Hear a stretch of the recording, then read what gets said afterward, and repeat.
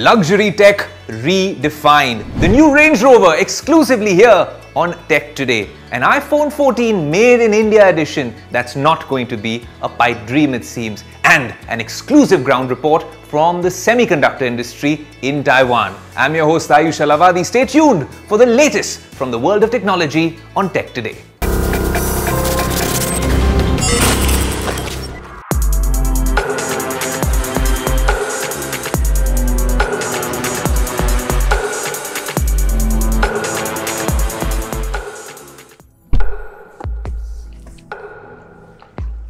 Well, you can see that 32 teeth smile. That's what a tech geek is all about when you come out of the new Range Rover autobiography. Yes, it's a monster. It's a premium SUV. It looks good. This is the first look and exclusive reveal on Tech Today, but there's so much that's changed. In this one from the previous generation, we've been waiting for a few years in terms of tech and design, and hence we have it with us on Tech Today. Let me take you to the front first. Start off with this grille and you see this is proprietary, very different from previous Range Rovers. It's not some design or just some random animation or something like that. It is really well cut mesh, which makes it look really muscular. And if you're taking it out for a camping trip with your family, well, there's so much more that you can do in this Range Rover. Right here in the back, there you see, it pops up over there. This obviously comes with the vehicle. And then there is all sorts of interesting things that you can do whilst you're seated here. I'm guessing someone my size, my height is quite comfortable. You can have a companion here as well. Well, of course, once you turn the entertainment suite on and you're sitting with your significant other, enjoying the stars up over there, if it's not the panoramic sunroof, you also have a really cool option over here. You lift this up, and once it's locked into place and you lean back, this is your lazy boy experience even here on a camping site. So I think this gives it a very interesting well, rear experience, well, then you can't be cribbing about boot space when this is nearly 2000 liters like a pickup truck. I think this is Isuzu levels over there. And also, this guy can also go off-roading, but with a lot of tech in the back seat and the front seat. That's what I'm going to show you next once we've closed this already.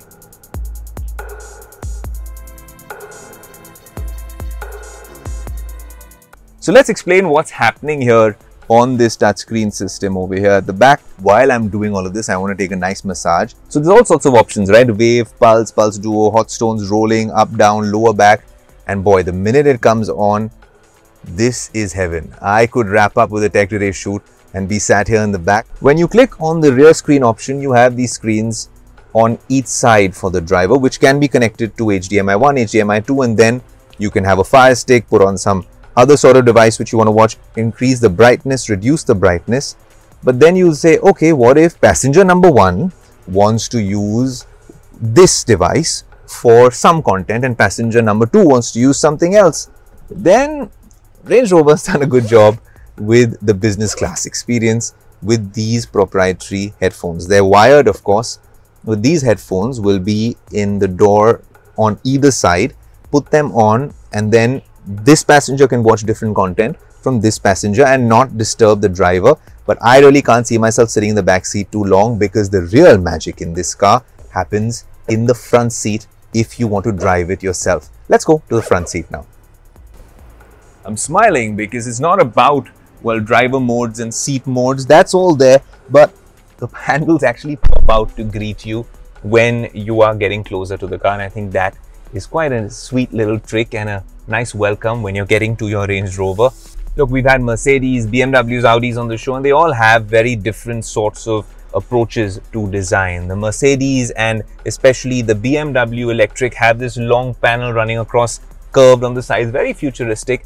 But what if you wanted to balance modernity and class and tradition and heritage? That's what this new Range Rover is doing. They've kept the leather where it's needed. They've kept these fancy buttons where needed and then two touch screens. When we're talking about this main touchscreen infotainment system, they call this entire software experience Pivi Pro. This is proprietary Range Rover. And look, it's not fancy like a Tesla because a Tesla is more of a software tech company than I think an automotive company, while the driving experience is great. Look at this screen and it's very intuitive. The user experience is smooth. It's tactile, the buttons respond really well. You have all sorts of features over here. But things that I find fascinating are right over here in dynamic I for once. You can change the engine steering, gear shift, suspension to dynamic to comfort. And then there's the G meter. Now, what is the G meter all about? The car's in P, so we're safe. I press the brake. The amount that I am pressing the brake with all the gravity statistics is right here. Even if you press the throttle a little bit, there you see. Over here is where you can genuinely understand that the Range Rover is a 4x4 is an off-roader if you want it to be. The vehicle is set in access height.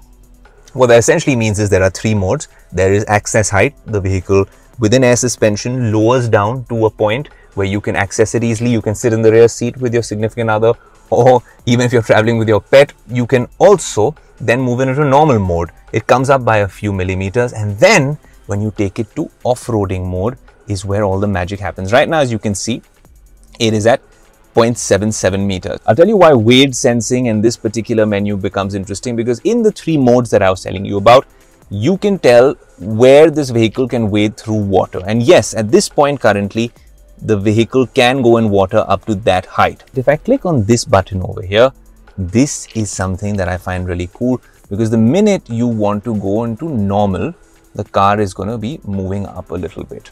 And I'll tell you how it changes the, the wade sensing altogether. Right now, it's going to take a while, but you click on off-road and the car has now moved much, much higher. I can feel it whilst I'm sat over here. The car is getting elevated first from the back and now from the front. Now this car has a far more commanding presence and you're high up over there. That also means better off-roading capabilities. And imagine what it means for waterlogged streets all over India, especially from June to September. That's why this becomes a lot more interesting. You can obviously look at all of these functions like dynamic stability control and stuff like that.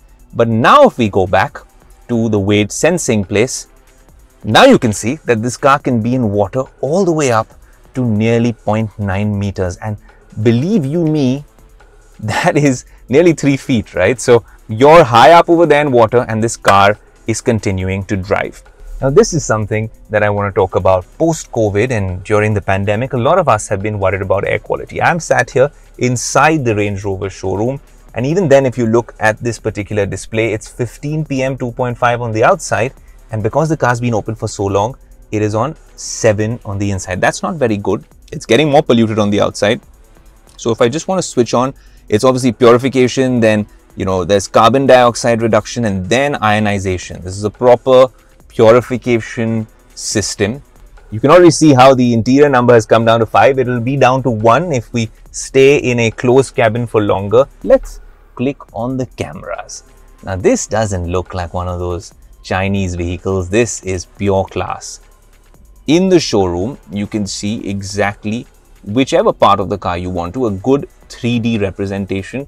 You can also see everyone else around here with all the cameras around the car. There's also small features and this detail paid to privacy and security. Something as simple as these buttons. You press them and you have a glove box here and you can close it. You press this, you have a glove box here.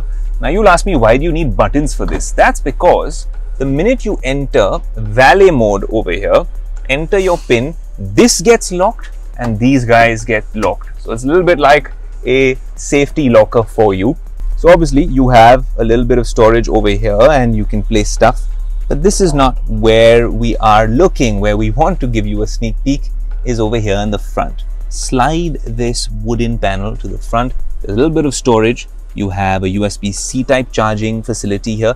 And then, little inconvenient, but you can place your phone all the way over here for wireless charging. Honestly, this is something that I wasn't very impressed with. In terms of placement, it's a little difficult. As you can see, it's not the most convenient placement in such a big cabin. Maybe this could have been over here, but I'm not nitpicking. You win some, you lose some. To cover up for that awkward placement of the phone and the fact that it's going to be tough dealing with bigger phones like the iPhone 13 Pro Max or the S22 Ultra.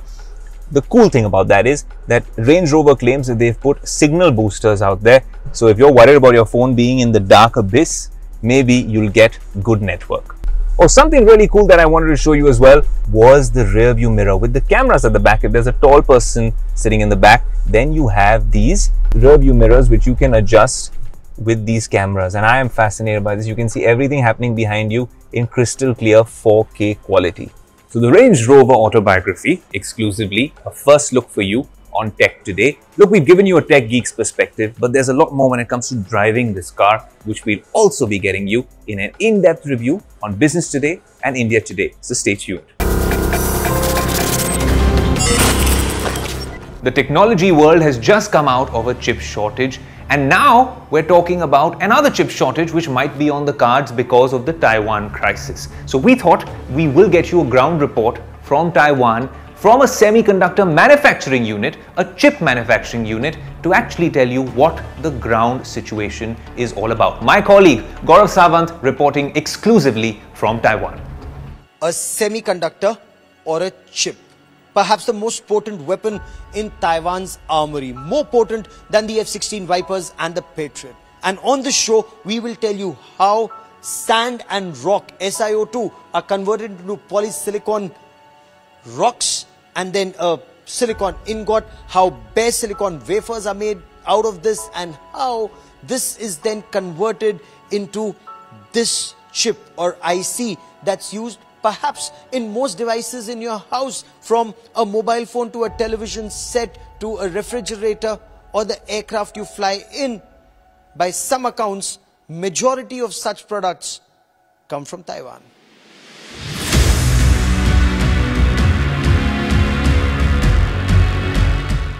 Gaurav Sawant in one of the most secretive manufacturing plants in the world. The center of technology which makes Taiwan one of the biggest soft powers in the world. This is semiconductor manufacturing unit of Macronix International at the Hsinchu Science Park, 80 kilometers from Taipei in Taiwan. Taiwan manufactures over 90% of the most advanced varieties of semiconductor chips in the world.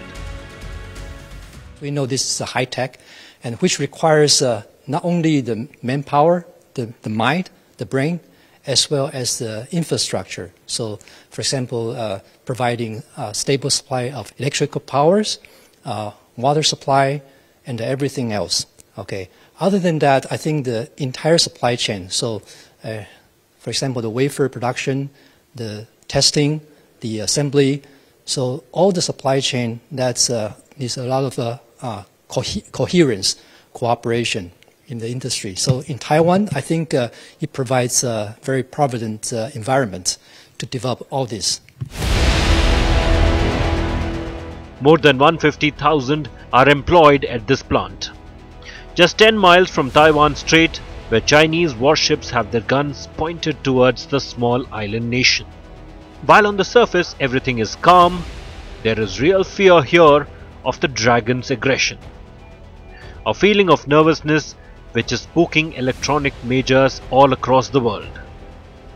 This has led to several countries including the US and India to try and shift manufacturing of semiconductors locally to break China's stranglehold around Taiwan. You can barely see this microchip, but this powers perhaps your mobile phone. Microchips or semiconductors like these also power missiles in different countries. So whether it's your television set or your refrigerator set or the car in your house, semiconductors by some accounts, 90% are manufactured here in Taiwan. If tensions with China increase, the global supply chain will be adversely impacted. And that's the reason Taiwan is reaching out to democracies across the world.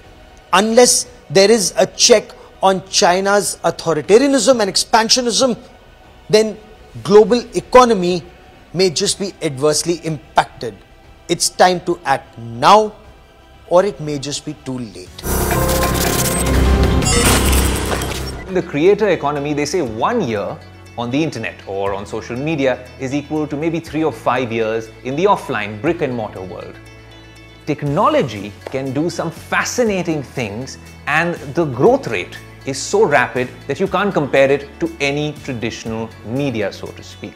How can India's digital transformation journey continue? What will India's technology story be all about in the next 25 years? How can you harness technology to unlock infinite possibilities. These were some of the topics that we discussed at the India at 100 Business Today event, and this is a stellar panel that I hosted. Have a sneak peek. So is Microsoft, and I think Microsoft has a very interesting interpretation of the metaverse. From what all of us on the media side really interpret, is gaming. And you marry the two, Microsoft's vision with the Activision deal, and Vision and Activision, and then you marry that with the Indian, burgeoning Indian gaming space. Is that a marriage that's waiting to happen, Mr. Maheshwari? I went back in history uh, and I said, when India was at 50, I was overjoyed because I got this device in my hand that I thought unlocked everything in the world for me, which was the mobile phone. It's the first mobile phone I ever got uh, at that point in time, and it completely changed my paradigm uh, of what work was. Uh, but I had never, uh, through all my prior life, uh, all my education, I never had that kind of a thing in my hand. So for me, uh, I'm not mobile native. I became very used to the mobile over the last 25 years.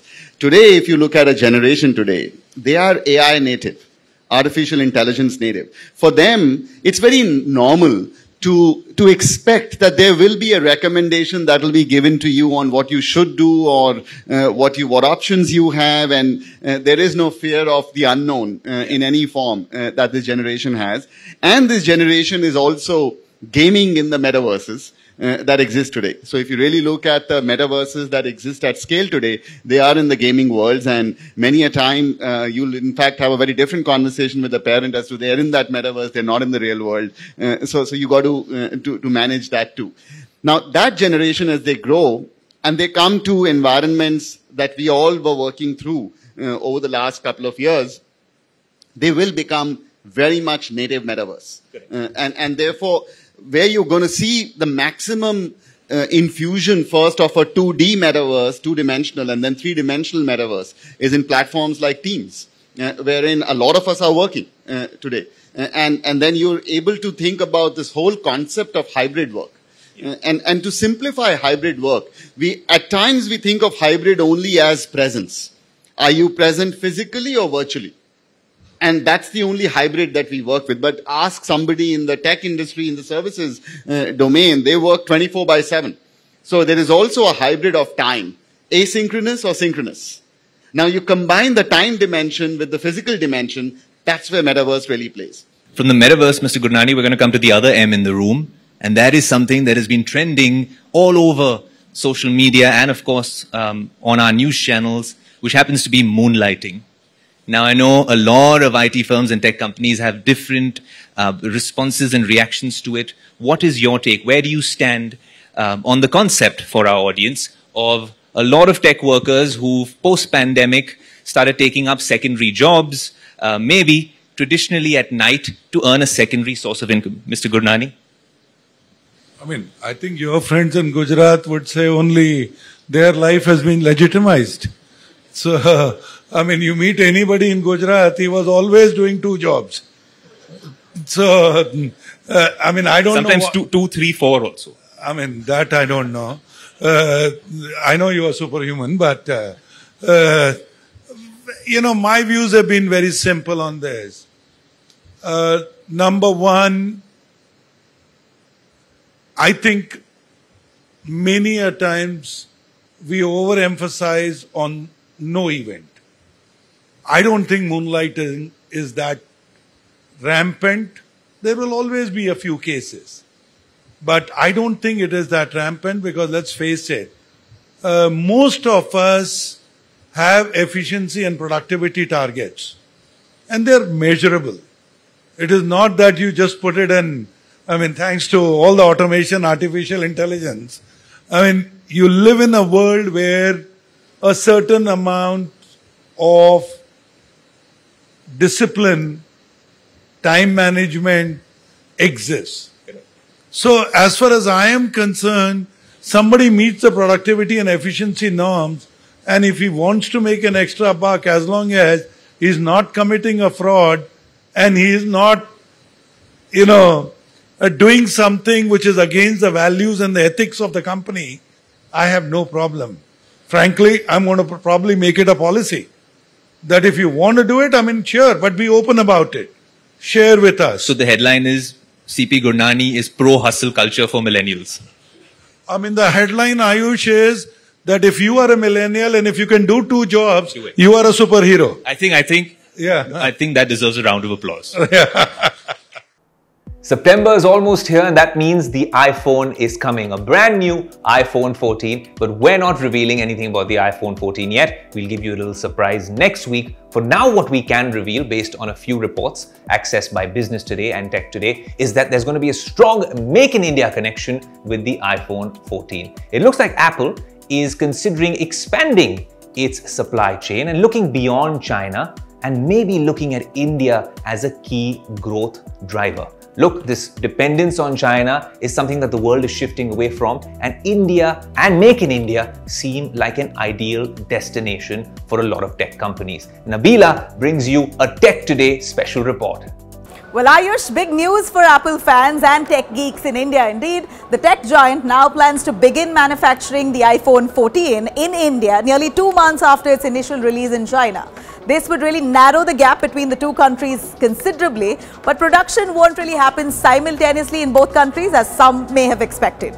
The company has been working with suppliers to ramp up manufacturing in India and shorten the lag in production of the new iPhone from the typical 6 to 9 months for previous launches, according to people who are familiar with the matter told us. In fact, Apple, which long made most of its iPhones in China, is seeking alternatives now as Xi Jinping's administration clashes with the US government and imposes lockdowns across the country that have really disrupted economic activity. Reports suggest that the US based company has been gradually ramping up production of iPhones in India. Apple has made a majority of their iPhones in China so long, but is now seeking an alternative non Chinese production site as Chinese governments clash with the United States administration, along with numerous lockdowns across China that have really dampened economic activity. Of course, previous models of the iPhone have been manufactured in India since 2017, but it's always been several months after the global launch. Currently in India, its devices are manufactured by three contract manufacturers or partners, namely Foxconn, Wistron and Pegatron. These partners are part of the Indian government's production-linked incentive scheme for mobile manufacturing. In fact, they need to make products worth a minimum of 8,000 crore rupees each year to get these incentives. According to reports, the first iPhone 14s from India will be finished in October or November. It remains to be seen though if that could really translate to a Diwali surprise for Indian tech enthusiasts on October 24th. The iPhone 14 will in all likelihood launch at the big Apple event on September 7th. It will be interesting to see if at all India can capitalize on the shift of focus from mass manufacturing in China to make in India with the new launches and go on and close the production gap in the near future. But for now, if you really want a make in India phone, a made in India iPhone 14, then you'll have to wait for a couple of more months at least. Another action packed week from the world of technology draws to a close, so does this action packed episode of Tech Today. But we'll continue our coverage on the Business Today social handles, so stay tuned. Until next week, this is Aayush Ailawadi saying adios.